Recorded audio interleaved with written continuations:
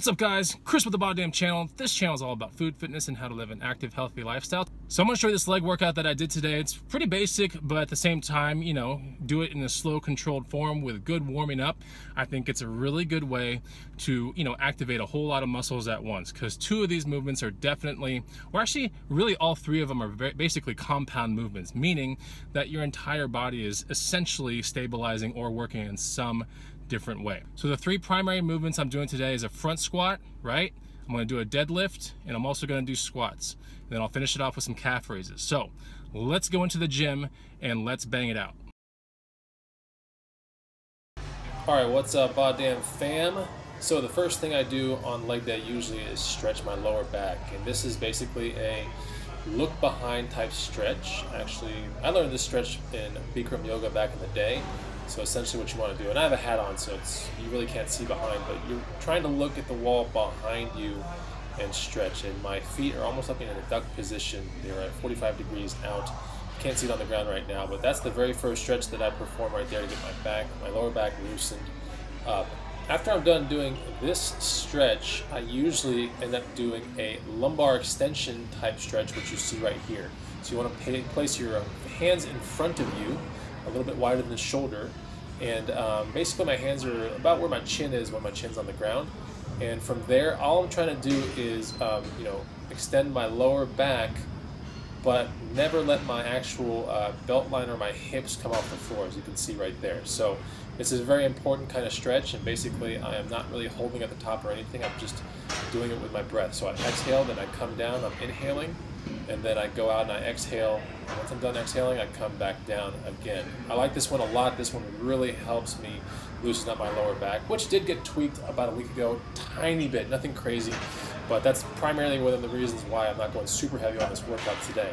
After that, basically what I do is I uh, do a little bit of some uh, under bar back rows.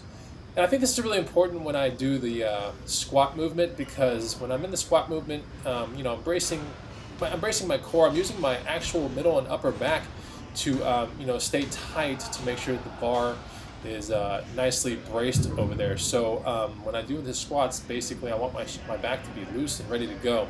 So that's the reason why I do these on actual uh, leg day. It doesn't really make much sense, but to me it makes a lot of sense because I've pulled my back before on leg day, believe it or not. All right, then I basically proceed with these leg swinging routines. I try to get 20 on each direction going, and this definitely helps with the flexor muscles of the hip, and um, it's definitely a good way to get everything super loose. So I'm trying to go all the way to the pocket line on each direction. As you can see, my shoe is ending up right about where my belt and pocket line would be.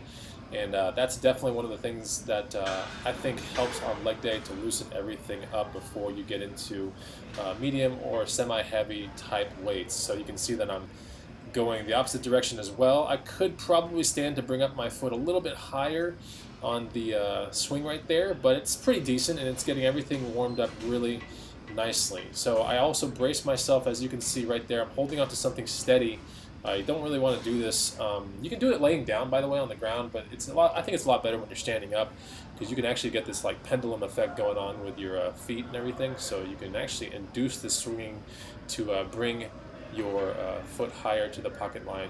Um, so I, I, like it a lot. Then I go into actual front and back ones as well.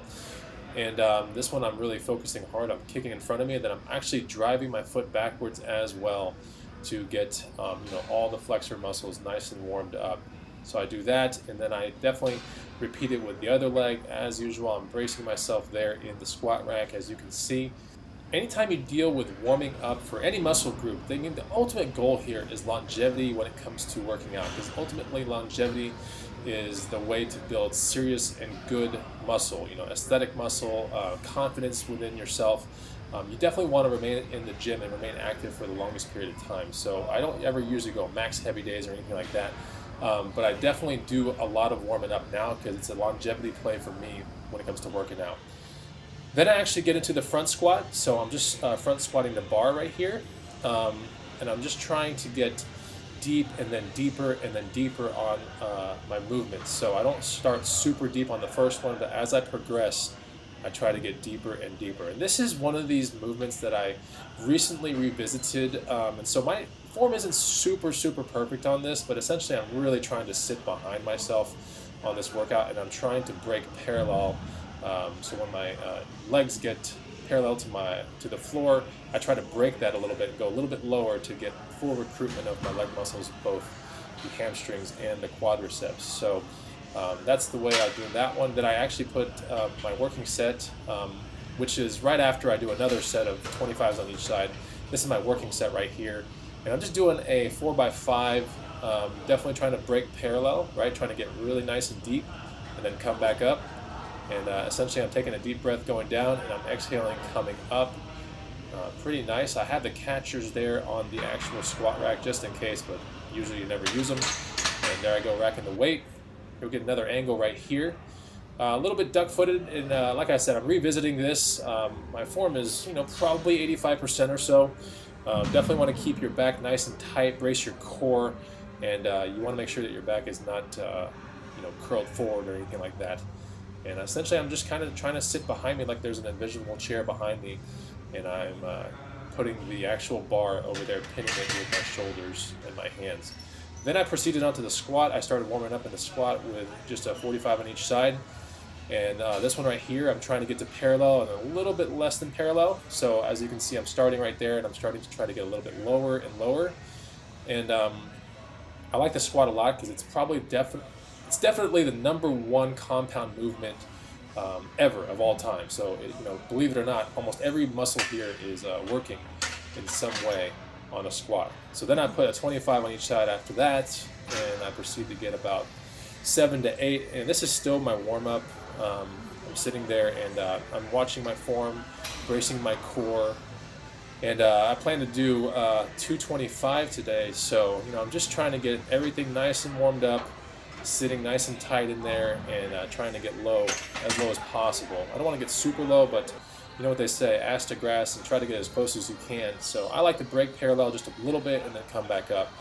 Um, so here's the 225 set right here, and there I get to parallel, and a couple times I get lower than that, but uh, essentially this is, you know, I would say probably, I don't ever know what my one rep max is, I don't ever mess with that because like I said, I play the longevity kind of thing, and I don't want to be out of commission because I did a one rep max or I tried to show off to some friends or anything like that. So 225 is a good little working weight with me today, especially after tweaking my back a tiny bit last Wednesday, which was a week ago.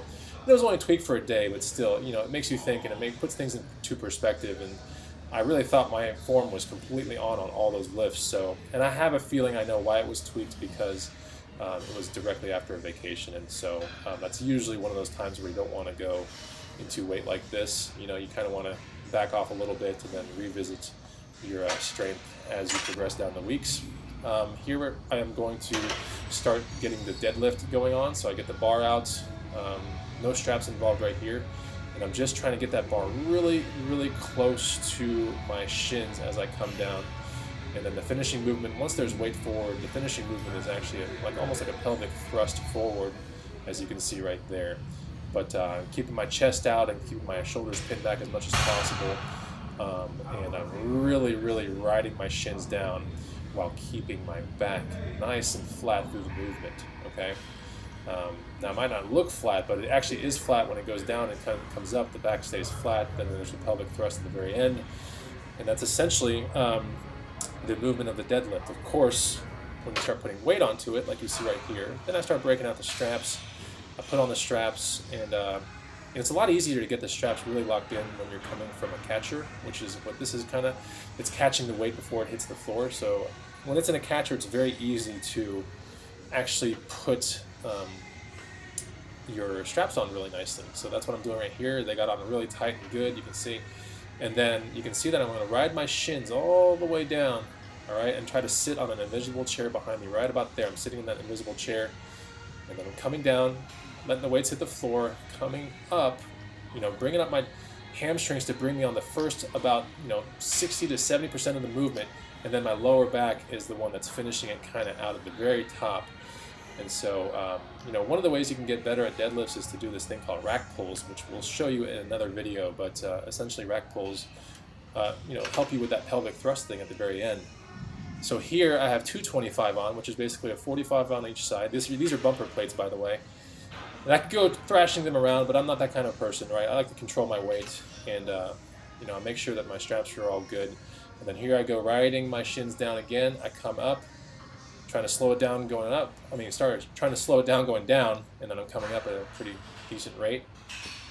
But as you can see, you know, this is not hard for me, but I'm, I'm also, you know, playing that longevity play again. You know, I don't want to get hurt, and uh, I'm just doing some decent weight for the morning. I literally woke up like 45 minutes before this workout, or even 30 minutes before. So I am in the gym fresh out of basically sleeping. So um, here I am, you know, tightening the straps, getting everything ready, getting my feet ready, and uh, this is another angle right there of the actual deadlift. And it's an easy movement, but it takes a while to uh, you know get right. So I'm sitting there, and my chest is out, and uh, my shoulders. I try to pin them back as much as possible, and I try to ride the shins down with straight arms, as you can see. And uh, it's a great movement. It's right under the actual squat when it comes to uh, muscle recruitment in the body. Fantastic thing to do.